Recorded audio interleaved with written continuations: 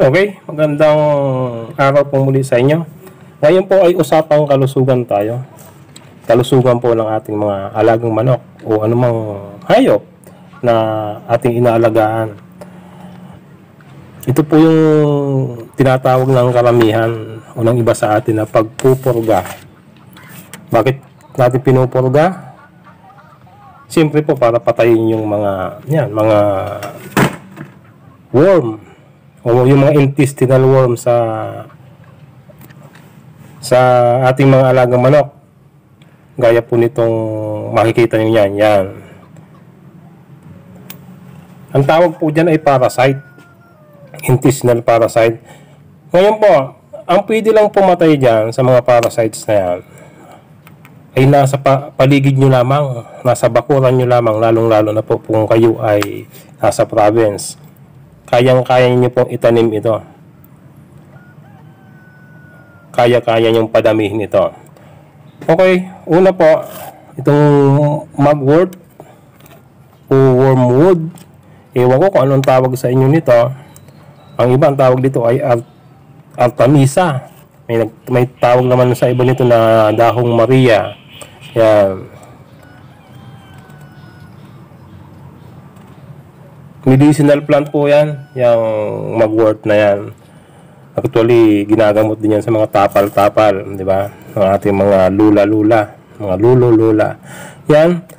Ito pa, yung yan, yung isa pang ginagamit ko yan, yung squash, o yung pumpkin seeds, yung buto ng, yan, ng pumpkin o ng kalabasa. Mabisa po yan dahil may compounds po yan na pumapumupuksa doon sa mga parasite sa intestine ng ating mga alagang manok o anumang hayop. Then, oregano. Yan. Kahit sa antibiotic, sinasama ko tong oregano ito kasi may napakaganda pong benepisyo yan. At po, ang garlic o ang bawang. Yan po, ang mga ginagamit ko sa pagpupurga. Actually, hindi ko siya tinatawag na pagpupurga eh. Ako kasi, ang sistema ko, prevention lagi. Sabi nga, di ba? Prevention is better than cure. Ba't ka pa mag-iisip gamutin yon? Hihintayin mo bang magkasakit yung mga alaga mo? I-prevent mo na agad. Kaya po ako, weekly, binibigyan ko sila ng ng mga halamang gamot na ito, mga herbs na ito, para mapuksa na. Hindi na dumami yung mga parasites doon sa intestine ng ating mga alagang hayop. Yan. Napakadali lang po, di ba? Napakadaling gawin, napakadaling hanapin. Masipag lang tayo magtanim. Itong mugwort o wormwood, yung artamisang ito, napakabilis pong dumami niyan. Yung oregano, yan. Napakabilis pong dumami niyan. Yung ispas, sa palingke, pwede tayo humingi mga buto niyan kasi tinatapon-tapon lang yan. Ngayon po,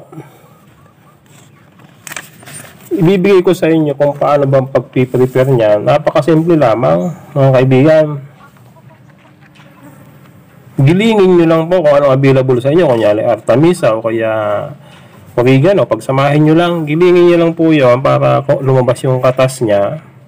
Then, ihalo nyo po sa yan sa feeds nila o sa pagpapakain o pag nag nag-mimix kayo ng pakain nila ihalo niyo po yung giniling yung herbs, in, herbs na yon o halamang gamot.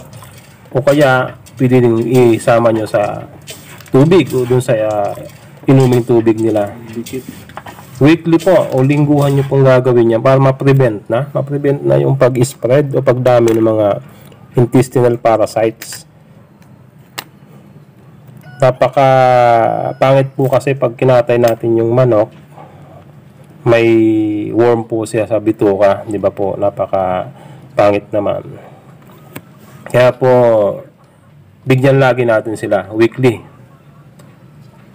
Di po araw-araw, weekly po bigyan natin sila ng mga halamang gamot na yan. Pangontra o pampuksa sa mga parasites o sa intestinal parasite o protozoa sa ating mga alagang manok para po healthy sila Libang po dyan sa pagpuksa nila, pagpuksa ng mga herbs na ibibigay niyo pagpuksa doon sa mga protozoa o doon sa parasites na yan, mayaman po po yan sa mga vitamina, yung mga halamang gamot na yan. Nakapag, nakakadagdag pa yan sa pagpapatibay ng immune system ng ating mga alagang manok. Okay po. Napakadali lang, di ba? Prevention is better than cure. Yan po ang prinsipyo ko. Kaya po, hindi nagkakasakit ang aking mga manok dahil marami po akong diskarte. Yan. Napatuka ako ng mga dahon-dahon yan, mga ganyan, para masigla sila at nakakakuha sila ng ng mga vitamina at mineral. Otherwise, nakakatipid pa tayo. Okay? Sana ay nakapagbigay na naman ito sa inyo ng magandang kalaman. Ayan. Tingnan nyo po.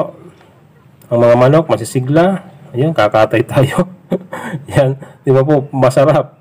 Maganda tingnan pag malinis po ang ating mga manok.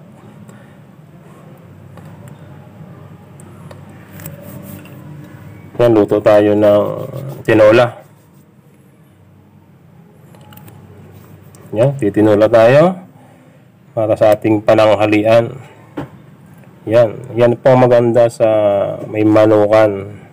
Dadampot ka lamang. May pang-ulam ka na. May ulam na kayo sa pananghalian. Yan, tinola po. Native yan. Native chicken tinola. Then ito, mag uh, iinasal tayo.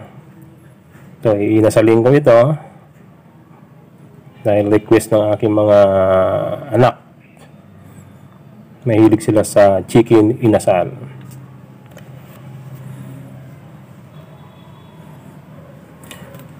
Okay sa muli po. Uh, magandang magandang umaga sa inyong lahat. At sana huwag kayo magsasawang samahan ako lagi sa aking mga mahalagang impormasyong ibinabahagi. Yan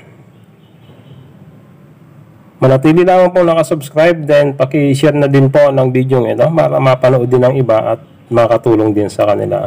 Muli po, magandang magandang umaga and God bless you all. Maraming salamat.